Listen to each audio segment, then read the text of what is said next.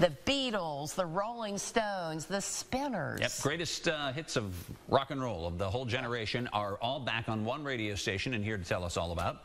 This new oldie station is the president and CEO of Kindred Communication. We're talking about Mike Kirtner.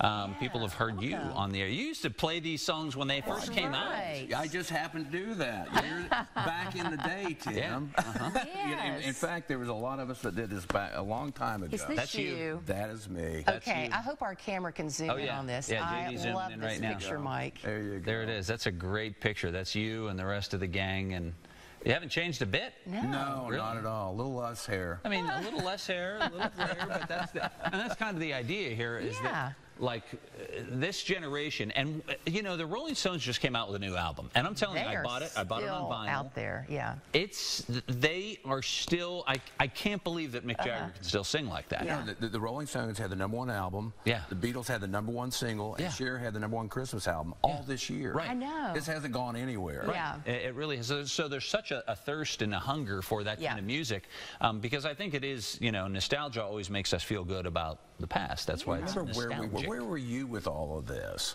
Oh my I remember starting. I just that remember was growing my, up hearing these tunes. Yeah, same with me. I was I had older brothers and sisters, and so and they grew up with that vinyl, the original vinyl. Uh-huh.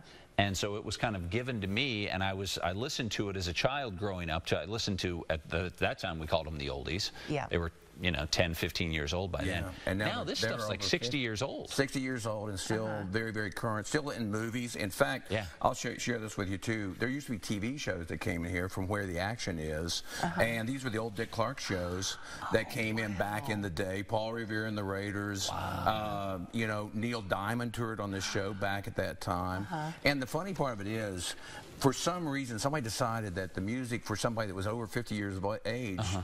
Wasn't relevant anymore. I think it is, and based on the response we're getting on the radio station, it Yeah. definitely is. I've never more. seen anything like this. Yeah, I would think so. So, the, yeah, and the viewer or viewers and listeners, uh, viewers of these, like these videos on YouTube, when you look at videos Mm-hmm. of some of these oldie songs on there, they're well into the millions. So clearly, there's an audience there. Yeah. And you're finding that out you know, on the radio station level as well. Tim, th th when we started doing this, this was last August, and the funny, we go on an oldies cruise every year. They call it the Flower Power Cruise, how which I want to make a presentation to you.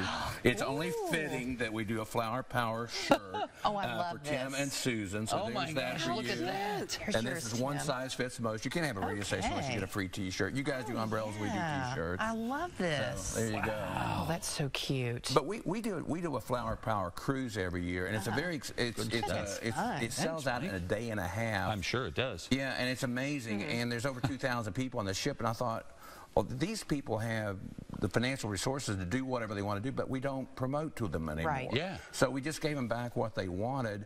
And the other irony, ironic part of this is the Cowsills. If you remember them, they inspired the Partridge Family. Mm-hmm. Well, I've gotten to know them, and we're getting ready to do a syndicated radio show that will originate here, that will go nationwide with the Cowsills. Cool, Mike. And you've gotten It's to know just them and fun. talked Oh, to my them. goodness. And, yeah, how about that? And I think it's great that you actually, for this picture, now, do you have to pay residuals to Keith Morehouse for using his likeness? From, 'cause that's, yeah, that's, that's you- Keith you- from you would tell early so? 70s right there. Yeah.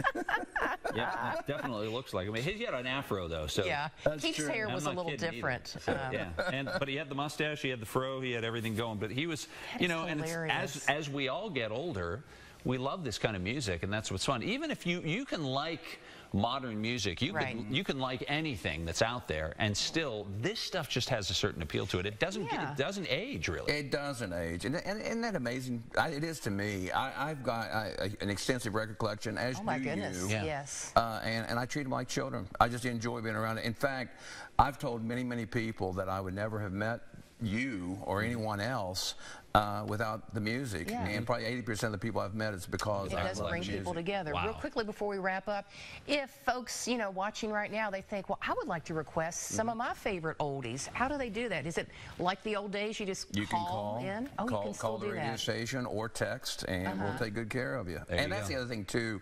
Just like you guys, we're here, Uh-huh. and and uh, and they- they'll take good care of everybody. Keep calm and cl- keep calm and request a song. I like the way that sounds. That's great. is Well, Mike, thanks so much for coming in and talking for about having this, and, me. and thanks for the great I gifts. know, I we love really, this. I want to those see are you very cool. this one of these days. I know. Absolutely, yeah. Stop, stop by anytime because we love talking about the oldies music. We even Yeah. both started out in radio back in the day. Right. So, Yep. yeah. It's, um, but some of us just have faces for radio, so we say where we were. Mike. I understand.